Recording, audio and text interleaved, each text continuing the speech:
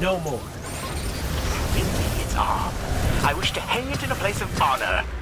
If it's been destroyed, bring me the ashes. I have constructed an urn for them.